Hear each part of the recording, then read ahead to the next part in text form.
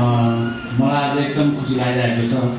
किनकि अब जुन मैले मिहिनेत गरे अनुसार चाहिँ मैले एउटा जुन मैले अहिले एउटा एउटा उपहार पाएँ। जिन्दगी मेरो फर्स्ट टाइम होला यो मेरो एउटा उपहार पाएको। त्यसमा चाहिँ मैले जुन बच्चादेखि स्टार्ट गरेँ मैले फुटबल खेल्नको लागि जुन अहिले यो यसमा आएर चाहिँ मैले राष्ट्रिय टिमबाट खेलेर क्लबबाट खेलेर बाहिर बाहिर जुन एउटा प्रोफेसनल एउटा फुटबल खेलेँ मैले। जुन सबै समेटेर चाहिँ मैले जुन यो पुरस्कार पाएँ म एकदम खुसी नै छु।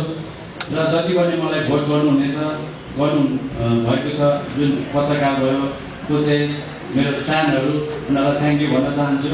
र यसमै एउटा कुरा मलाई यस्तो लाग्छ कि अब जुन अहिले एउटा फुटबल प्लेयर भएर एउटा नेपालमा जुन राम्रो खेल्दै गर्दा एउटा अपार्टमेन्ट पाउने एउटा गाडी पाउने जुन एउटा एन्थल यो योजना बनाएको छ यसले गर्दा चाहिँ मलाई मलाई मात्रै होइन कि मेरो जति पनि मेरो साथीहरू अब फुटबल प्रेमी फुटबल प्लेयरहरूलाई चाहिँ एउटा फाइदाको कुरा होला।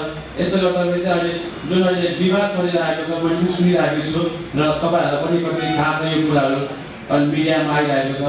यस्तो चाहिँ यस्तो कुराले गर्दाखेरि चाहिँ खेलाडीहरूको लागि धेरै नै एकदम दुःखको कुरा हुन्छ किनभने मैले मात्र होइन कि आगामी आउने साथीभाइहरूले एउटा पाउने चिजहरू पाउँदैन।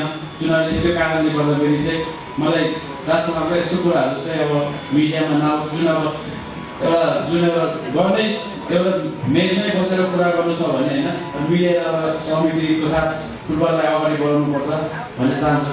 Thank you